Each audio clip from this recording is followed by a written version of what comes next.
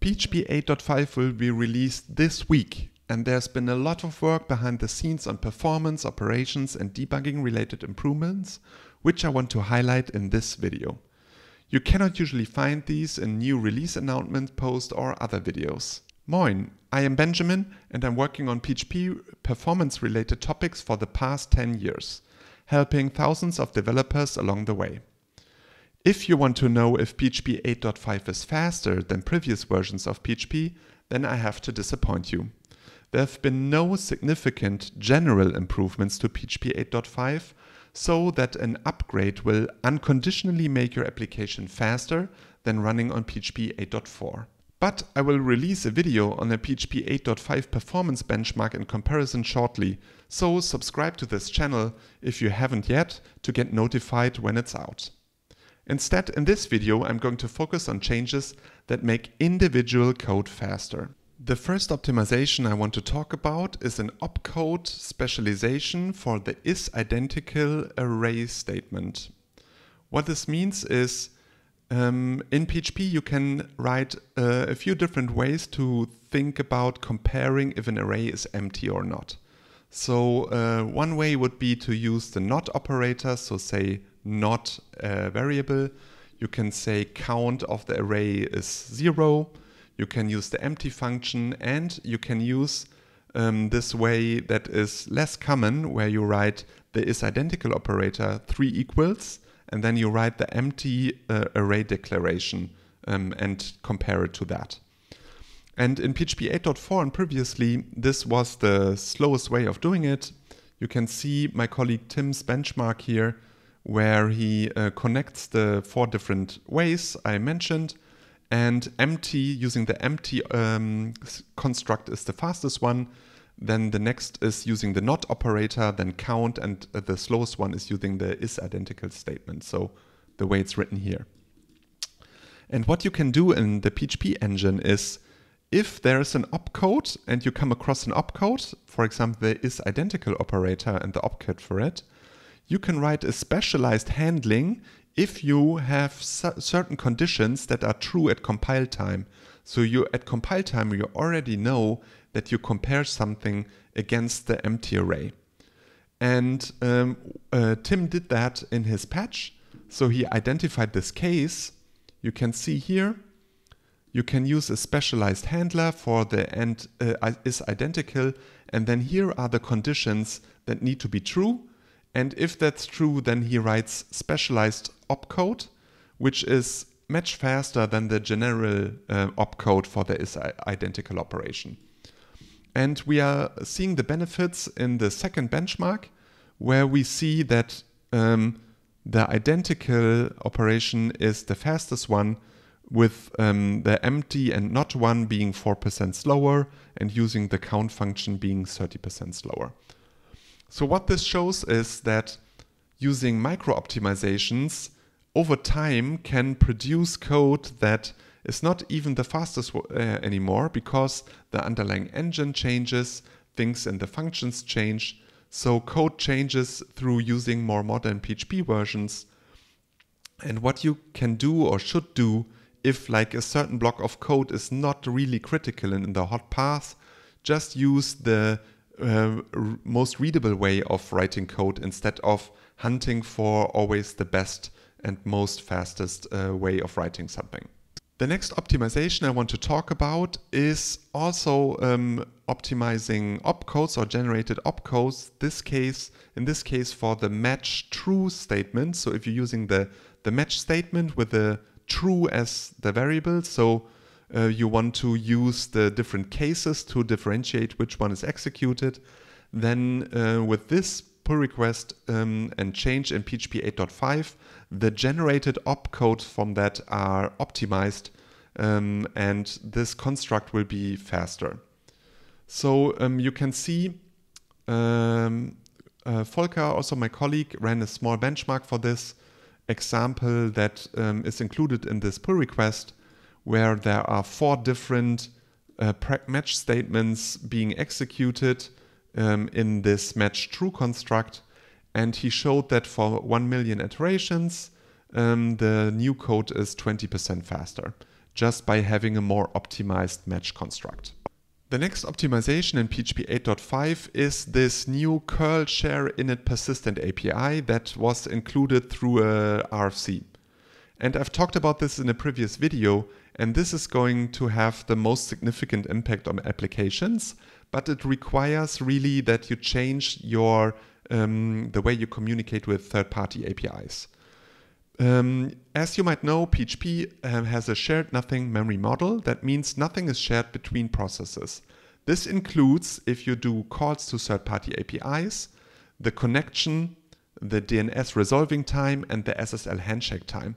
And with the share init um, API for curl, you can now share this across multiple PHP requests and uh, processes.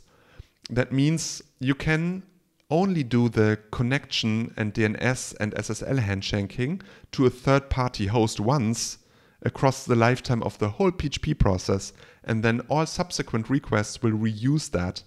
And this can mean a lot of time um, saved if the third party API that you're talking uh, to is not really located close to your uh, servers.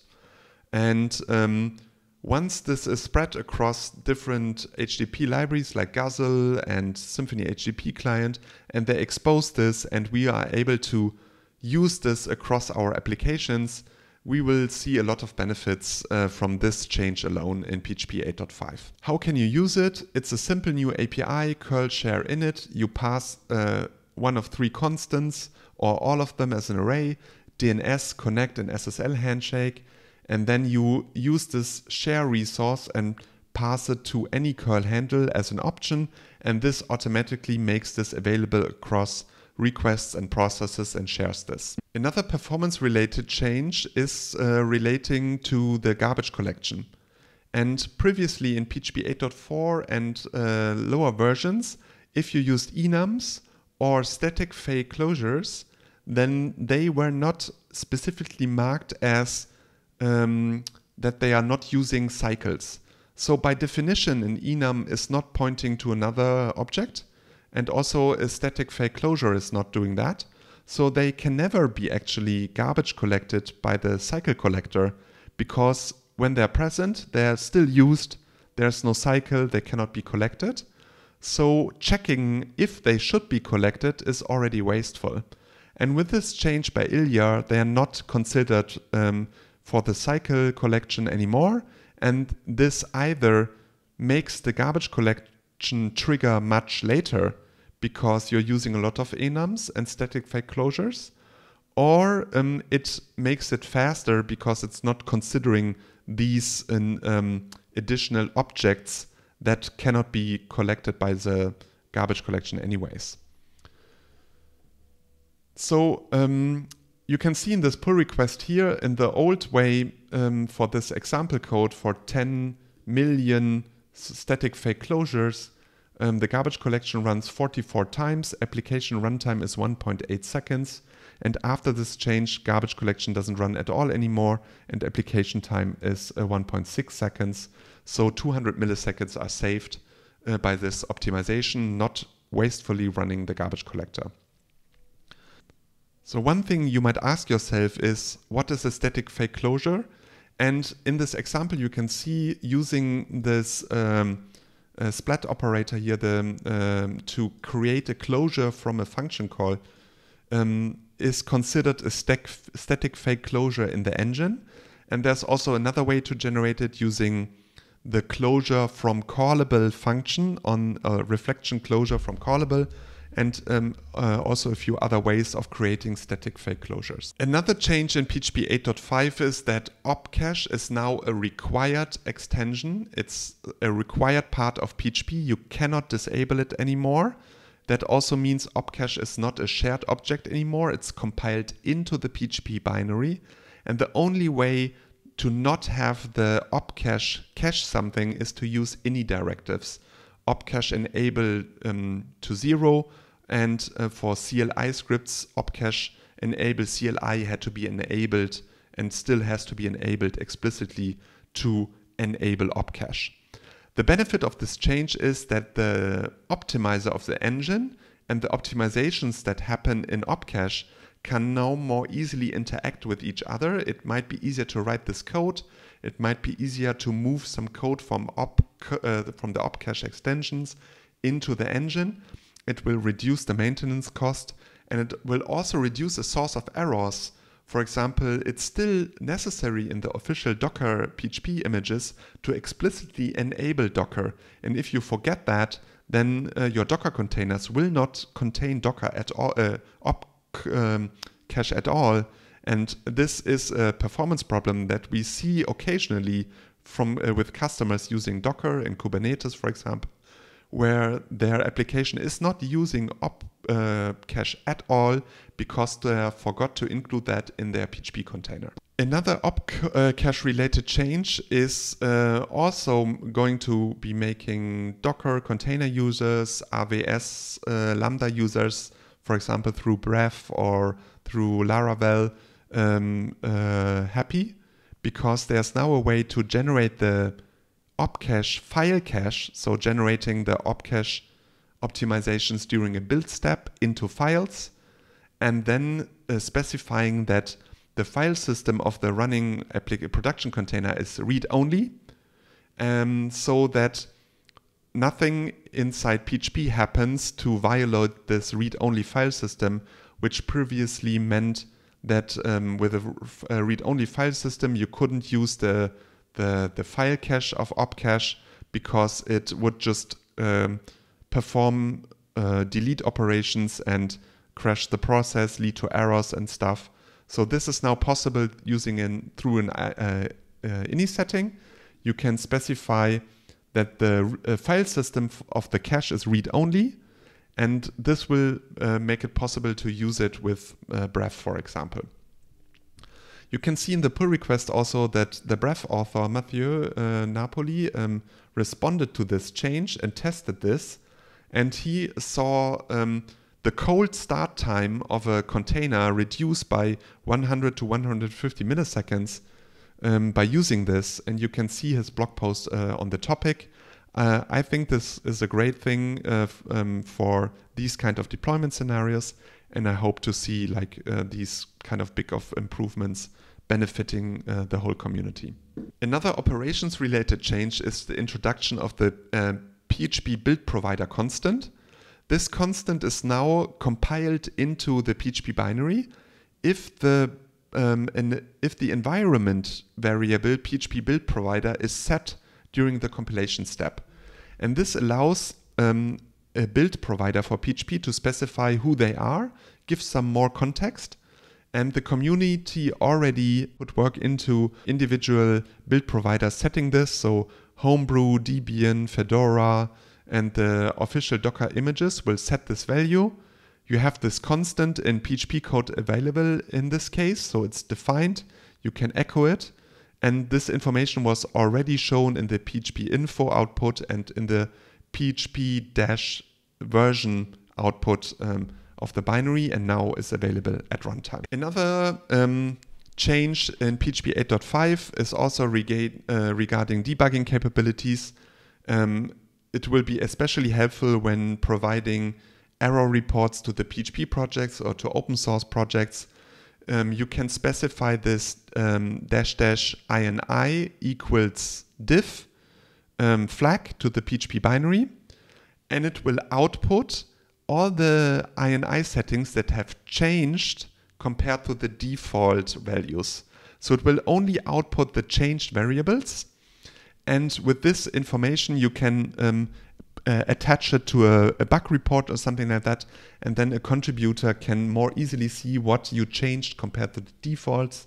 And it will make it much easier to, uh, to figure out the changes that potentially are causing problems um, for maintainers. Before PHP 8.5, um, the memory limit uh, variable that you can specify in PHP INI could always be overwritten at runtime by writing some code, uh, writing ini set, memory limit, increasing it to 2 gigabytes, 4 gigabytes, whatever high value you want. However, in certain scenarios, the operator of a system may want to restrict uh, and dis disallow the runtime to increase the memory indefinitely. And this is now po uh, possible in PHP 8.5. You can specify a maximum memory uh, limit that um, the runtime cannot increase above. So if you set the max memory limit, for example, to 200 megabytes, runtime can never change it to be higher. If you try to attempt to set it higher, then it will set it to the max memory limit.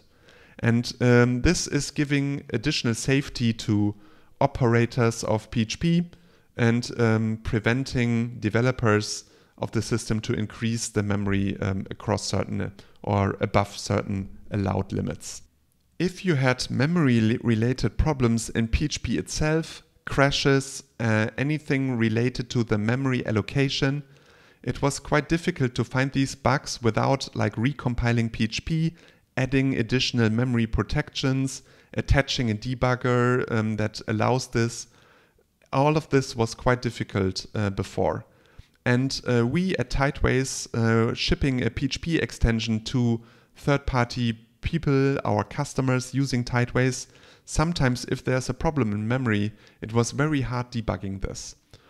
With this change in PHP 8.4 that Arnaud added, um, there's actually a way to increase the output um, and have some additional memory debugging information just by setting an environment variable to the already compiled PHP binary.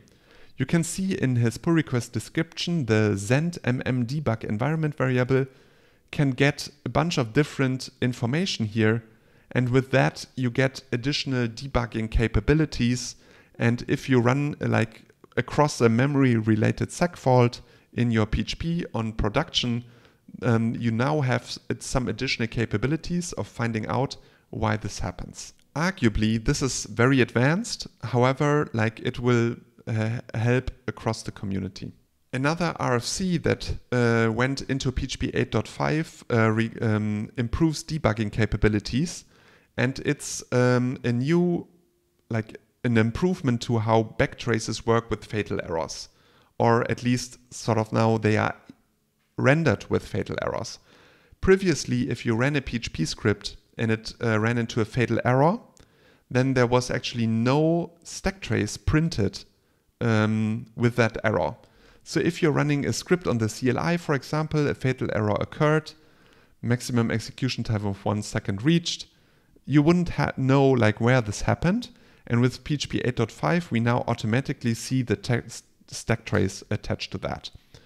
And this is also tied into the display error setting. So when you set display errors to on, you will see this. When it's to off, you won't see it. Uh, so it's some additional information that helps you debug in your development system. When you show errors, um, you will be able to see where they happened. The last change is also related to error handling and it's the introduction of two new functions, getErrorHandler and getExceptionHandler.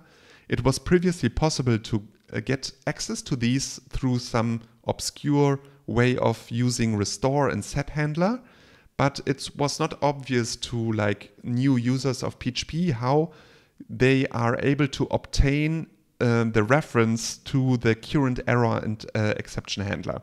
And with these two new functions, it's now easier to write this kind of code. There's are polyfills available to use it in lower versions, but with PHP 8.5, you can now rely on these functions to be available, and uh, it's easier to write more complex um, error handling and exception handling code uh, using those two functions. I hope you can see there are some really great additions to PHP performance, to uh, operations, and to debugging capabilities in PHP 8.5. I'm really excited about it. I'm also quite proud that uh, my colleagues Tim and Volker did a lot of work on this release. Tim did like quite a few changes, and Volker will be the release master of the 8.4 um, branch. And we, as Tideways, sort of like contributed to this version in this big regard. I hope uh, that you find these changes interesting as well, um, and that you find they are a great addition. Um, on top of the new features that PHP 8.5 will include. If you're interested in additional videos about PHP performance related topics, Please subscribe to this channel or subscribe to the newsletter that is linked in the description as well. We and we will get in touch with you when something new is coming up. Bye.